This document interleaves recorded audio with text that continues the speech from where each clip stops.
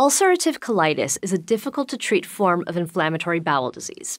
Gut microbiome alterations are a possible risk factor for the disease, and success with using fecal microbiota transplantation, or FMT, to restore the microbiome in treatment of C. diff infection has sparked interest in seeing if FMT could also be effective for treating ulcerative colitis.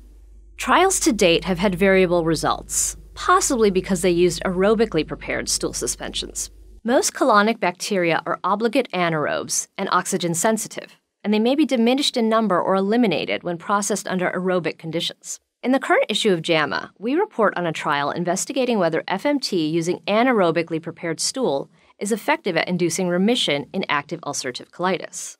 The researchers enrolled 73 adults with mild to moderately active ulcerative colitis in a randomized double blind clinical trial in three Australian tertiary referral centers with 12 month follow up. 38 participants received anaerobically prepared pooled donor FMT, and 35 participants in the control group received their own stool prepared under aerobic conditions.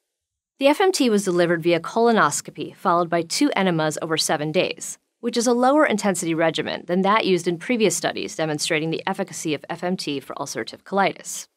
The primary outcome of the study was corticosteroid free remission, defined by the Mayo score eight weeks after FMT. On to the results. Among 73 randomized patients, 67 completed the trial. 12 of the 38 participants assigned to pool donor FMT achieved remission at 8 weeks, compared with 3 of the 35 participants assigned to autologous FMT, for a between group difference favoring pool donor FMT of 23%. Among the 12 participants who achieved the primary endpoint at week 8 following donor FMT, 5 maintained remission at 12 months. The authors conclude that in this preliminary study, one week treatment with anaerobically prepared donor FMT compared with autologous FMT resulted in a higher likelihood of remission at eight weeks. But further research is needed to assess safety and longer term maintenance of remission.